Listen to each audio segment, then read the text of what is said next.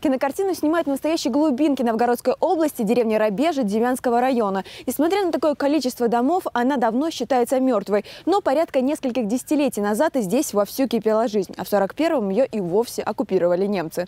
Поэтому все здесь от и до пропитано послевоенным духом. Хоть по сюжету кинокартины действия происходят не в нашей области, а в Ленинградской, в районе Ладоги, причастность к событиям 40-х годов прошлого века играет немаловажную роль для съемок. Кроме того, выбор пал именно на Рабежу из-за каменной церкви Святой Троицы 1732 года. Несмотря на то, что она полуразрушена, очень подходит под стилистику фильма. На самом деле потрясающе по цвету, по ощущению природы, которая действительно вдохновляет. Я очень люблю пастель.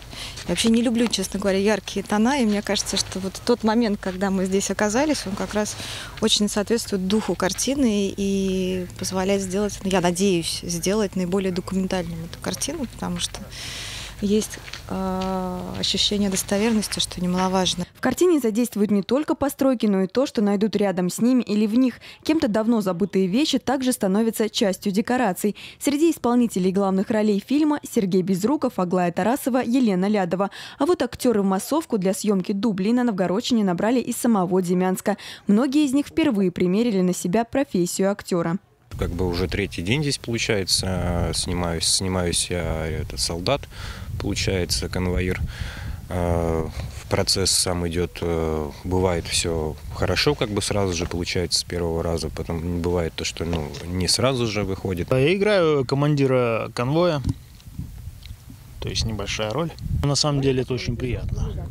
То есть какая-то частичка меня побывала в тех самых далеких э, временах, когда действительно шла жестокая война, и получается, что в данный момент принимаю какой-то участок в этом.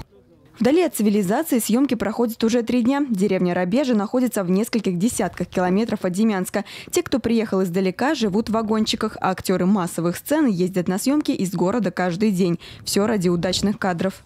Сейчас э, середина второго блока. Первый блок был отснят еще полтора года назад, до пандемии. Потом картина остановилась, очень долго стояла из-за коронавируса. Вот, потом она запустилась. И вот мы сейчас находимся в, второго, в середине второго блока, который зимой должен завершиться. И картина уйдет в э, постпродакшн. Поэтому впереди еще несколько месяцев работы над идеальными дублями. А пока что у актеров фильма «Воздух» последний съемочный день в нашей области. Премьера фильма запланирована на 2023 год.